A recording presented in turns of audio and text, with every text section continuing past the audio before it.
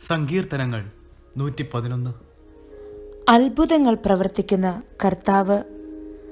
കർത്താവിനെ സ്തുതിക്കുവിൻ. നീതിമാന്മാരുടെ സംഘത്തിലും സഭയിലും പൂർണ ഹൃദയത്തോടെ ഞാൻ കർത്താവിന് നന്ദി പറയും. കർത്താവിന്റെ പ്രവൃത്തികൾ മഹനീയങ്ങളാണ്. അവയിൽ ആനന്ദിക്കുന്നവർ അവ ഗ്രഹിക്കാൻ ആഗ്രഹിക്കുന്നു. അവിടുത്തെ പ്രവൃത്തി മഹത്വം തേജസ്സുറ്റതുമാണ്. അവിടുത്തെ നീതി ശാശ്വതമാണ്. തന്റെ അത്ഭുത പ്രവൃത്തികളെ അവിടുന്ന് സ്മരണീയമാക്കി.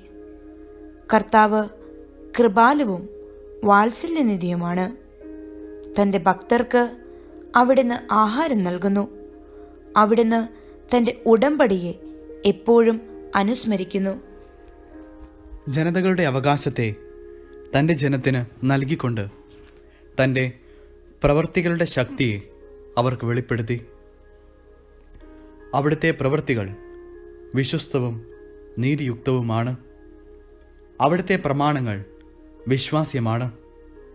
വിശ്വസ്തയോടും പരമാർത്ഥതയോടും കൂടെ പാലിക്കപ്പെടാൻ അവയെ എന്നേക്കുമായി സ്ഥാപിച്ചിരിക്കുന്നു.